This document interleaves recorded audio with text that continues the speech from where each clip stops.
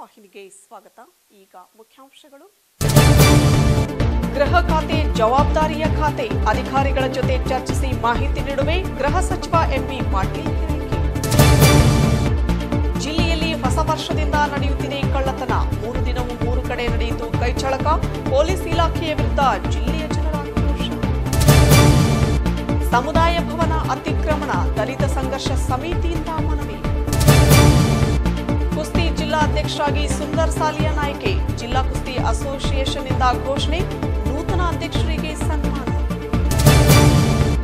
ಮಂಕು ಕವಿದ ಕರಸ್ಗಿ ಕಾಲೇಜು, ಸರ್ಕಾರಿ ಕಾಲೇಜ್ಗೆ ಸೌಲಭ್ಯದ ಕೊರತೆ, ಅಧಿಕಾರಿಗಳ ನಿರ್ಲಕ್ಷ್ಯಕ್ಕೆ ಜನರ ಆಕ್ರೋಶ. ವಾರ್ತೆಯ ವಿವರಗಳು, ರಾಜ್ಯದಲ್ಲಿ ಇದೇ ಎರಡನೇ ಬಾರಿಗೆ ವಿಜಯಪುರ ಜಿಲ್ಲೆಯವರು ಗೃಹ ಮಂತ್ರಿಯಾಗಿದ್ದು, ಸಚಿವ ಸ್ಥಾನ ದೊರಕಿದ ಬಳಿಕ ತವರು ಜಿಲ್ಲೆಗೆ ಆಗಮಿಸಿ ಸನ್ಮಾನ ಸ್ವೀಕರಿಸಿದರು.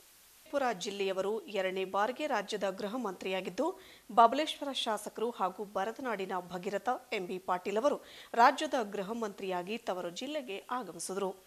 ಈ ಸಂದರ್ಭದಲ್ಲಿ ತವರು ಜಿಲ್ಲೆಗೆ ಆಗಮಿಸಿದ ಬಳಿಕ ತಂದೆಯ ಪುಣ್ಯಭೂಮಿಗೆ ಆಗಮಿಸಿ ಆಶೀರ್ವಾದ ಪಡೆದ ಗೃಹ ಸಚಿವ ಎಂಬಿ ಪಾಟೀಲ್ ಅವರು ಮಾತನಾಡುತ್ತಾ ಗೃಹ ಸಚಿವನಾಗಿ ಮೊದಲ ಬಾರಿಗೆ ತವರು ಜಿಲ್ಲೆಗೆ ಆಗಮಿಸಿದ್ದೇನೆ.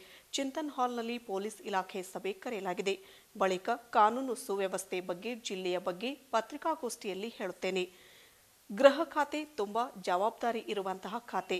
ಅಧಿಕಾರಿಗಳ ಜೊತೆ ಸುದೀರ್ಘ ಚರ್ಚೆ ಬಳಿಕವೇ ಇಲಾಖೆಗೆ ಸಂಬಂಧಿಸಿದ್ದನ್ನು ಮಾತನಾಡುತ್ತೇನೆ ಎಂದವರು ಹೇಳಿದರು. ನಾನು ನಿನ್ನೆ ರಾತ್ರಿ ನನ್ನ ಜಿಲ್ಲೆಗೆ ಆಗಮಿಸಿದ್ದೇನೆ. ಇವತ್ತು ನಮ್ಮ ಹಿರಿಯರಾದಂಥ ಪೂಜ್ಯರಾದಂಥ ಮಂತ್ರಾಲ ಶಿವಯೋಗಿಗಳ ಫಗು ಹಳ್ಕಟ್ಟಿಯವರ ಹಾಗೂ ನನ್ನ ತಂದೆಯವರ ಸಮಾಧಿಗೆ ಭೇಟಿ ಕೊಟ್ಟು ನನ್ನ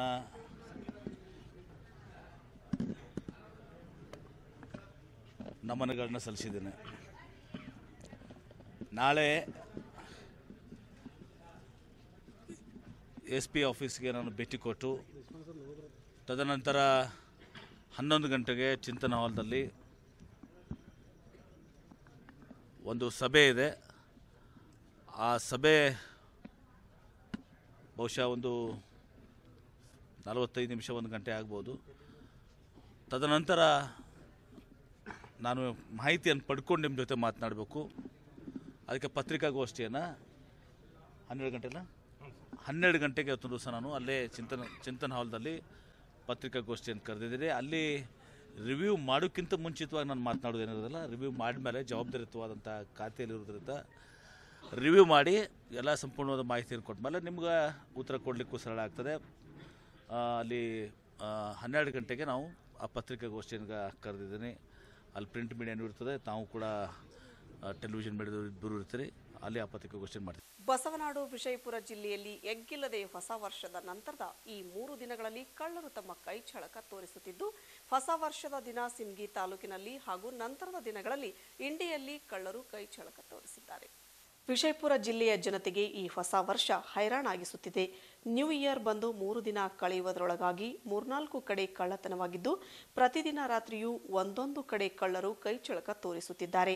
ಹೊಸ ವರ್ಷದ ದಿನ ಸಿಂಗಿ ತಾಲೂಕಿನ ದೇವಣಗಾಮ ಗ್ರಾಮದಲ್ಲಿ ಏಳು ಮನೆಗಳನ್ನು ದೋಚಿದ ಕಳ್ಳರು ಎರಡನೇ ತಾರೀಕಿನಂದು ಆಲ್ಮೇಲ್ ಪಟ್ಟಣದ ಕಡನಿ ಗ್ರಾಮದಲ್ಲಿ ಕೈಚಳಕ ತೋರಿದ್ದು, ತದನಂತರದಲ್ಲಿ ಕಳ್ಳರು ಇಂಡಿ ಪಟ್ಟಣದಲ್ಲಿ ಐದು ಮನೆಗಳನ್ನು ದೋಚುವ ಮೂಲಕ ಜಿಲ್ಲೆಯ ಜನತೆಯ ನಿದ್ದೆ ಕೆಡಿಸಿದ್ದಾರೆ.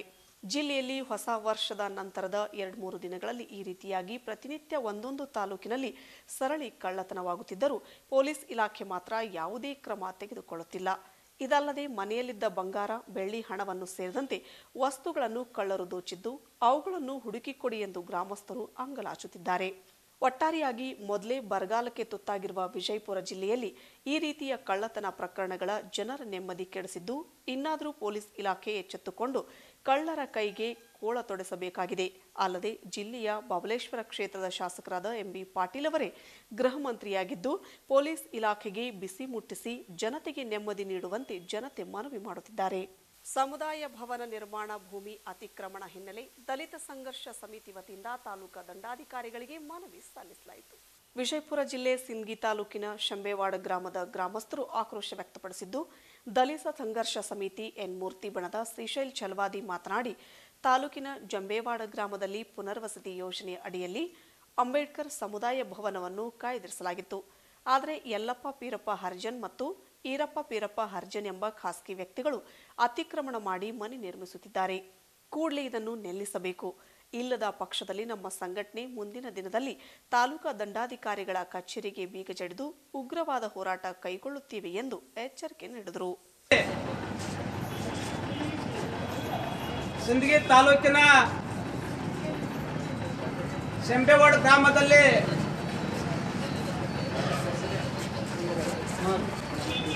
ಏರಿಯಾದಲ್ಲಿ ಡಾಕ್ಟರ್ ಬಾಬಾ ಸಾಹೇಬ್ ಅಂಬೇಡ್ಕರ್ ಅವರ ಭವನಕ್ಕೆ ಕಾಯ್ದಿರಿಸಿರತಕ್ಕಂಥ ಜಾಗದಲ್ಲಿ ಅಲ್ಲಿಯವರು ಆ ಭವನದಲ್ಲಿ ಮನೆಯನ್ನ ಕಟ್ಟುತ್ತಿದ್ದಾರೆ. ಅದಕ್ಕಾಗಿ ಮಾನ್ಯ ಜಿಲ್ಲಾ ಅಧಿಕಾರಿಗಳಿಗೆ ಮನವಿಯನ್ನ ಕೊಟ್ಟಿದ್ದಾಗಿದೆ.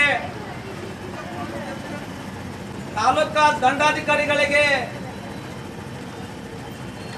ಮಾನ್ಯ ಸಿಂದಗಿ ತಾಲೂಕಾ ದಂಡಾಧಿಕಾರಿಗಳು ಸಂಬಂಧಪಟ್ಟಂತ ಕಾರ್ಯನಿರ್ವ, ಕಾರ್ಯನಿರ್ವಾಹಕ ಅಧಿಕಾರಿಗಳನ್ನ ಕರೆದುಕೊಂಡು ಖುದ್ದಾಗಿ ಆ ಗ್ರಾಮಕ್ಕೆ ಶಂಬರೋಡ್ ಗ್ರಾಮಕ್ಕೆ ಭೇಟಿ ನೀಡಿ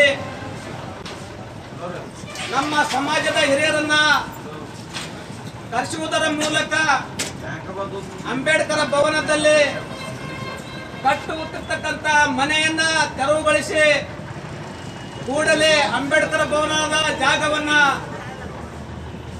ಬಿಡುವಂತಾಗಬೇಕಂತಕ್ಕಂಥ ಮಾತನ್ನು ಇವತ್ತು ವೇದಿಕೆ ಮುಖಾಂತರ ಹೇಳ್ತಾ ಇದ್ದೇನೆ.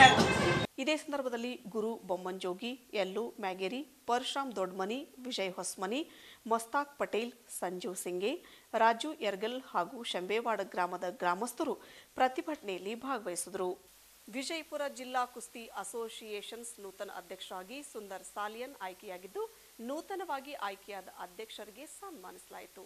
ವಿಜಯಪುರ ಜಿಲ್ಲೆಯ ಇಂಡಿ ಸಿನ್ಗಿ ಬಾಗೇವಾಡಿ, ಮುದ್ದೇಬಿಹಾಳ ಸೇರಿದಂತೆ ಎಲ್ಲಾ ತಾಲೂಕುಗಳ ನೂರ ಮೂವತ್ತೈದು ಪೈಲ್ವಾನ್ ಸದಸ್ಯರು ಹಾಜರಿದ್ದು, ನೂತನವಾಗಿ ವಿಜಯಪುರ ಜಿಲ್ಲಾ ಕುಸ್ತಿ ಅಸೋಸಿಯೇಷನ್ಗೆ ನೂತನ ಅಧ್ಯಕ್ಷರಾಗಿ ಸುಂದರ್ ಸಾಲಿಯಾನ್ ಅವರನ್ನು ಆಯ್ಕೆ ಮಾಡಲಾಯಿತು. ಇದೇ ಸಂದರ್ಭದಲ್ಲಿ ನೂತನವಾಗಿ ಆಯ್ಕೆಯಾದ ಸುಂದರ್ ಅಲಿಯಾನ್ ಅಧ್ಯಕ್ಷರಿಗೆ ಸನ್ಮಾನಿಸಲಾಯಿತು. ಈ ಸಂದರ್ಭದಲ್ಲಿ ಜಿಲ್ಲೆಯ ಕುಸ್ತಿ ಅಸೋಸಿಯೇಷನ್ಸ್ ಹಲವಾರು ಜನಪ್ರತಿನಿಧಿಗಳು ಕುಸ್ತಿಪಟುಗಳು ಸೇರಿದಂತೆ ಜಿಲ್ಲೆಯ ಎಲ್ಲಾ ತಾಲೂಕುಗಳ ನೂರ ಮೂವತ್ತೈದು ಪೈಲ್ವಾನ್ ಸದಸ್ಯರು ಹಾಜರಿದ್ದರು. ಕರಸ್ಗಿ ಸರ್ಕಾರಿ ಕಾಲೇಜ್ಗೆ ಸೌಲಭ್ಯದ ಕೊರತೆ ಉಂಟಾಗಿದ್ದು, ಸರ್ಕಾರ ಕೋಟ್ಯಾಂತರ ರೂಪಾಯಿ ಖರ್ಚು ಮಾಡಿ ಕಾಲೇಜು ಕಟ್ಟಿಸಿದವರು, ಅದಕ್ಕೆ ಅಗತ್ಯ ಸೌಲಭ್ಯ ಕಳಿಸಿದ್ರೂ ವಿದ್ಯಾರ್ಥಿಗಳಿಗೆ ಮಾತ್ರ ಅದು ದೊರಕುತ್ತಲೇ ಇಲ್ಲ. ಹೌದು, ಕಲಬುರಗಿ ಜಿಲ್ಲೆ ಅಫ್ಜಲ್ಪುರ ತಾಲೂಕಿನ ಕರಸ್ಗಿ ಸರ್ಕಾರಿ ಕಾಲೇಜಿನಲ್ಲಿ ಎಲ್ಲವೂ ಅಯೋಮಯವಾಗಿದೆ ವಿದ್ಯಾಭ್ಯಾಸ ತೊಂದರೆಯಾಗುತ್ತಿದೆ. ಇದಕ್ಕೆ ಅಲ್ಲಿ ಕುಡಿಯುವ ನೀರಿನ ಸಮಸ್ಯೆ ಹಾಗೂ ಶೌಚಾಲಯ ಸಮಸ್ಯೆ ಕಾಡುತ್ತಿದೆ. ಕಾಲೇಜಿನ ಗ್ರಂಥಾಲಯ ಇದ್ದರೂ ಅಗತ್ಯ ಪುಸ್ತಕ ಹಾಗೂ ಇರೋದಿಲ್ಲ ವಿದ್ಯಾರ್ಥಿಗಳ ಸರ್ಕಾರಿ ಪ್ರಥಮ ದರ್ಜೆ ಕಾಲೇಜು ಗ್ರಾಮ ಲಕ್ಷಾಂತರ ರೂಪಾಯಿ ಖರ್ಚು ಮಾಡಿ ಉತ್ತಮ ಕಾಲೇಜು ಕಟ್ಟಡ ನಿರ್ಮಿಸಿದರು. ಕಾಲೇಜಿನಲ್ಲಿ ಮಹಿಳಾ ಶೌಚಾಲಯ ಇದ್ದೂ ಇಲ್ಲದಂತಾಗಿದೆ ಕರೆಂಟ್ ಬೋರ್ಡ್ ಒಡೆದು ಹೋಗಿವೆ ಹಾಗೂ ಕಾಲೇಜಿನಲ್ಲಿ ತುಂಬಾ ಡಿಗ್ರಿ ಕಾಲೇಜ್ ಅಂತ ಅನಿಸುವುದೇ ಇಲ್ಲ. ಅದು ನೋಡಿದರೆ ದನದ ಕೊಠಡಿಯಂತೆ ಕಾಣಿಸುತ್ತಿದೆ. ಪ್ರಿನ್ಸಿಪಾಲರು ಕೇಳಿದರೆ ಅವರು ಹೇಳುತ್ತಾರೆ, ಇಲ್ಲಿ ಪಿ ಯು ಬರೋದಿಲ್ಲ ಅಂತ ಹೇಳಿದರು. ಪ್ರಿನ್ಸಿಪಾಲರು ಯಾಕೆಂದು ಕೇಳಿದರೆ, ಗೊತ್ತಿಲ್ಲ ಅಂತ ಹೇಳಿದರು. ಮಕ್ಕಳು ಕೂತುಕೊಂಡು ಪಾಠ ಕೇಳುವ ಕ್ಲಾಸ್ ರೂಮ್ ಕೂಡ ಸ್ವಚ್ಛತೆ ಇಲ್ಲ, ಆಫೀಸ್ ರೂಮ್ ಅಂತೂ ಇಲ್ವೇ ಇಲ್ಲ. ಸುಮಾರು ಸಾವಿರ ಕೋಟಿ ಕೋಟಿ ಬಜೆಟ್ ಬರ್ತಾ ಇರೋ ಡಿಗ್ರಿ ಕಾಲೇಜ್ ಈ ಪರಿಸ್ಥಿತಿ ಇದೆ. ಅಲ್ಲಿ ಪ್ರಿನ್ಸಿಪಾಲರು ವಾರದಲ್ಲಿ ಒಂದೇ ಸಾರಿಗೆ ಬರುತ್ತಾರೆ. ಅವರು ಆ ಕಡೆ ಬರೋದೇ ಇಲ್ಲ, ವಾರದಲ್ಲಿ ಒನ್ ಟೈಮ್ ಬರುತ್ತಾರೆ. ಯಾಕೆ ಅಂತ ಕೇಳಿದರೆ, ರೆಸ್ಪಾನ್ಸ್ ಮಾಡೋದಿಲ್ಲ. ಕೊನೆಯಲ್ಲಿ ಮತ್ತೊಮ್ಮೆ ಮುಖ್ಯಾಂಶಗಳು. ಗೃಹ ಖಾತೆ ಜವಾಬ್ದಾರಿಯ ಖಾತೆ ಅಧಿಕಾರಿಗಳ ಜೊತೆ ಚರ್ಚಿಸಿ ಮಾಹಿತಿ ನೀಡುವೆ ಗೃಹ ಸಚಿವ ಎಂಪಿ ಪಾಟೀಲ್ ಜಿಲ್ಲೆಯಲ್ಲಿ ಹೊಸ ವರ್ಷದಿಂದ ನಡೆಯುತ್ತಿದೆ ಕಳ್ಳತನ. ಮೂರು ದಿನವೂ ಮೂರು ಕಡೆ ನಡೆಯಿತು ಕೈಚಳಕ ಪೊಲೀಸ್ ಇಲಾಖೆಯ ವಿರುದ್ಧ ಜಿಲ್ಲೆಯ ಜನರ ಆಕ್ರೋಶ. ಸಮುದಾಯ ಭವನ ಅತಿಕ್ರಮಣ. ದಲಿತ ಸಂಘರ್ಷ ಸಮಿತಿಯಿಂದ ಮನವಿ. ಕುಸ್ತಿ ಜಿಲ್ಲಾ ಅಧ್ಯಕ್ಷರಾಗಿ ಸುಂದರ್ ಸಾಲಿಯಾ ನಾಯ್ಕೆ. ಜಿಲ್ಲಾ ಕುಸ್ತಿ ಅಸೋಸಿಯೇಷನ್ನಿಂದ ಘೋಷಣೆ. ಅಧ್ಯಕ್ಷರಿಗೆ ಸನ್ಮಾನ. ಮಂಕು ಕವಿದ ಕರಸ್ಗಿ ಕಾಲೇಜು, ಸರ್ಕಾರಿ ಕಾಲೇಜ್ಗೆ ಸೌಲಭ್ಯದ ಕೊರತೆ, ಅಧಿಕಾರಿಗಳ ನಿರ್ಲಕ್ಷ್ಯಕ್ಕೆ ಜನರ ಆಕ್ರೋಶ ಮತ್ತೆ ಎಫ್ಎಂ ವಾಹಿನಿಯ ಮರುವಾರ್ತೆಗಳನ್ನು ಬೆಳಗ್ಗೆ ಎಂಟು ಮೂವತ್ತು ಹಾಗೂ ಹತ್ತು ಗಂಟೆ, ಮಧ್ಯಾಹ್ನ ಎರಡು ಗಂಟೆ, ರಾತ್ರಿ ಎಂಟು ಮೂವತ್ತು ಹಾಗೂ ಹನ್ನೊಂದು ಗಂಟೆಗೆ ಪ್ರಸಾರವಾಗುವುದು ತಪ್ಪದೇ ವೀಕ್ಷಿಸಿ, ಇಲ್ಲಿಗೆ ಈ ಎಫ್ಎಂ ವಾರ್ತಾವಾಹಿನಿ ಸಂಚಿಕೆ ಮುಕ್ತಾಯವಾಯಿತು. ವಂದನೆಗಳು.